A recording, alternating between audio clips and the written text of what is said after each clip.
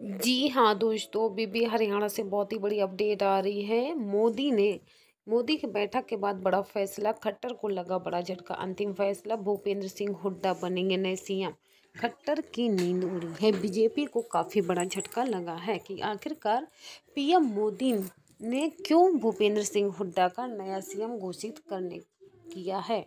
क्या मैंने अभी तक सीएम का जो पद निभाया है, क्या मैं अच्छे से निभा नहीं पाया हूँ क्या? जो इस वजह से पीएम मोदी ने दूसरा सीएम घोषित करने का ऐलान कर लिया है। आपको बता दिया जाए कि भूपेंद्र सिंह हुड्डा और पीएम मोदी बचपन में एक ही स्कूल में ही पढ़े थे और दोनों की एक साथ बैठक और दोस्ती बहुत अच्छे से जमती है। ये एक दूसरे को बहुत अच्छा मित्र मानते हैं।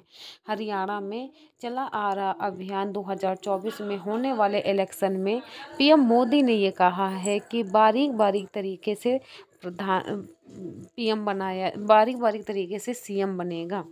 तो उससे ये पता चलेगा कि हरियाणा की आखिरकार भाग दौड़ भागडोर किसके हाथ में होनी चाहिए? आखिरकार कौन सा ऐसा सीएम है जो हरियाणा का अच्छा भला सोचता है?